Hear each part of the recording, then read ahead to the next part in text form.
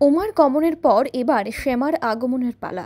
মাঝে আর একদিন, এরপরেই শ্যামা মায়ের আরাধনায় মাতবে গোটা রাজ্য। আর শ্যামা মায়ের আরাধনা তথা আলুর উৎসব দীপাবলিকে কেন্দ্র করে নাওয়া খাওয়া ছেড়ে প্রস্তুতি চালিয়ে যাচ্ছে মৃৎশিল্পীরা।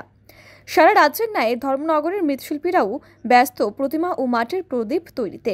বর্তমান আবহাওয়া অনুকূল থাকায় প্রতিমা, মাটির প্রদীপ এবং পুজোর নানা উপকরণ তৈরি করতে বিশেষ বেগ পেতে হচ্ছে না মৃৎশিল্পীদের। এখন শেষ বেলাতে চলছে প্রতিমাকে রং এবং বস্ত্র ও অলংকারে সুসজ্জিত করে গড়ে তোলার ব্যস্ততা। যদিও বর্তমান বাজারে রংবাহারি বৈদ্যুতিক লাইটের দাপটে হারিয়ে যেতে বসেছে মাটির প্রদীপগুলো কিন্তু প্রদীপের চাহিদা কমলেও হাল ছাড়েননি মৃৎশিল্পীরা। এ বিষয়ে স্থানীয় এক মৃৎশিল্পী জানান, দুর্গাপুজোতে তেমন বেশি লাভ না হলেও গত বছরের তুলনায় এই বছর দীপাবলির বাজার বেশ ভালো। গত বছরের তুলনায় এবার কিছুটা হলেও বেশি লাভ করতে পেরেছেন তিনি। হ্যাঁ দাদা নামটা কি আপনার? রাসমোহন পাল। আচ্ছা তো এটা কোন জায়গা? এটা পদ্মপুর আচ্ছা। আখড়া রোড হরিচাঁদ রোড আর কি। এবছর আপনাদের কেমন সেল হচ্ছে কুর্তি? না মোটামুটি অত ভালো না দুর্গাপূজা বেশি ভালো হয়নি। আচ্ছা। মানে বিশ্বকর্মা পূজাটা একটু মোটামুটি ভালো হয়েছে।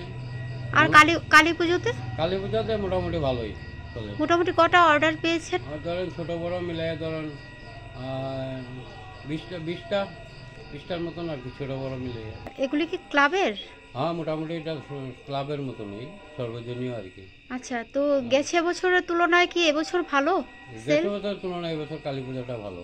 সব মিলিয়ে দীপাবলির পূর্বে ধর্মনগরের সর্বত্র পরিলক্ষিত হচ্ছে মৃৎশিল্পীদের ব্যস্ততার চিত্র। Bureau report R news.